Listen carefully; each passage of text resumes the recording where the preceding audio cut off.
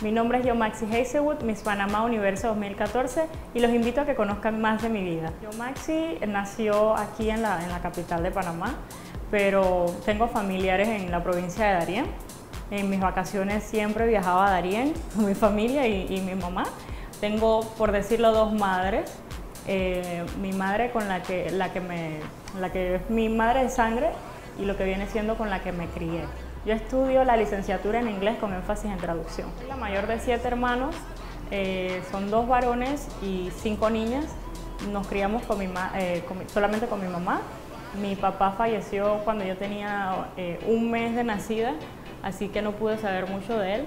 Y bueno, hemos ido creciendo juntos y creo que eso nos ha ayudado mucho a lo que es valorar cada, cada material, cada objetivo que tenemos en la vida. Nosotros queremos saber si yo más tiene novio. Sí tengo, pero no hablo mucho de eso. Un no. Sí, porque como es privacidad, pienso que sabes cómo son las redes y eso, entonces siempre tratan de, de obtener la información personal para usarlas en tu contra. Así que yo no hablo mucho de, de, de esos asuntos, de esos temas.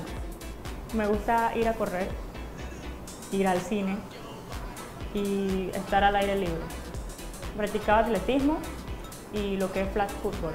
Atletismo cuando eh, cumplí como 19 años, eso fue como en el 2010 que comencé a ingresar en lo que fue el atletismo y de ahí obtuve seis medallas, eh, cinco de oro y una de plata. Me gustaba, o, me gusta, sí, porque ya no lo puedo comer mucho. Los patacones, los aldras, los que eran las frituras y el arroz no se quedaba atrás. Decía que sin arroz no hay comida. Bueno, he cambiado mucho la alimentación, así que me gusta, como sé que con los vegetales y la fruta mi piel se mejora, pienso que ahora no le, no le tengo mucho problema, pero cuando tenga la oportunidad, ya después que se acabe el concurso, de nuevo. Sí, yo bailaba eh, coreografía de los nueve años en presentaciones en Atlapa al frente de o sea, 400 y pico personas. Y de ahí no tengo pena estar frente al público. Eh, entonces, si bailo coreografía, sí, sí bailo todo. No es que todo me guste, pero si lo debo bailar, lo bailo. Entonces, sí, si salgo, me gusta mucho lo que es, el merengue me gusta. Y, y la salsa. Y tú sabes que también, por ejemplo, que ha estado bastante allá, eh, allá se bailan eh, el bullerengue. Sí. ¿Sabes bailar todo eso? Sí lo sé bailar. No soy experta, pero sí me defiendo. Sí me defiendo. Pero me gusta mucho porque es como si tuvieras.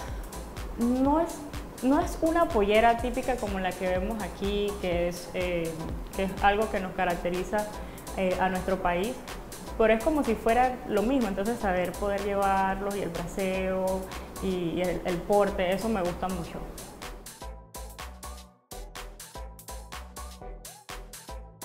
Bueno, cuando ingresé al concurso sí, em, yo pensaba, yo, bueno mamá, yo creo que tengo la oportunidad de llevarme una de las coronas y, bueno, con el tiempo vi que en realidad yo podía, uh, podría hacerla Miss Panamá University. Cuando yo le dije que yo quería ingresar, ella estaba como un poco triste, como que decía, no, pero me, me, van a humillar a mi hija, porque ella tenía también el concepto, igual que yo, de que solo las que ganaban eran, eran personas pudientes. Y yo decía, no, pero yo no tengo, así que yo no sé si yo pueda ganar o algo así.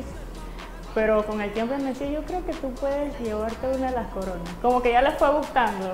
Fue viendo que todos los días yo me paraba temprano y los días se acababan como a las 10 de la noche porque se iba al gimnasio, había reuniones, prácticas, ensayos y, ella veía que yo me esforzaba mucho. Y entonces eh, desde ahí ella me apoyó más y el día de la final ella comenzó a llorar y estaba muy contenta y, y ella subió al escenario y me dijo que estaba muy orgullosa de todo el esfuerzo que yo había hecho porque ella vio todo lo que yo había, lo que había pasado durante el concurso. Bueno, siempre estuve positiva y cada, cada crítica, porque cuando yo eh, ingresé al concurso no tenía el apoyo de muchas personas eh, donde yo trabajaba, pero yo les decía, yo sé que yo puedo llegar y, y, lo que hacía era como que, bueno, ellos me dicen que no puedo, ahora es cuando más yo voy a demostrar que puedo. Y entonces fue mucho no, no llegar tarde a las clases, eh, asistir a todas las actividades, ir al gimnasio, ser muy responsable y, tener mucha disciplina y eso es lo que me ha llevado a donde estoy ahora. Desde, desde el día en que, en que gané el, mejor, eh, la mejor silueta, que fue el primer premio que se nos dio, desde ahí comencé a hacer la diferencia porque de mí no se hablaba mucho, eh, ni se esperaba que yo me llevara algún premio y creo que con ese premio los ojos se pusieron un poco más en mí y poco a poco fue que, que llevé lo del concurso y ya se, están conociendo que soy deportista, eh, o sea, soy una cajita de sorpresa.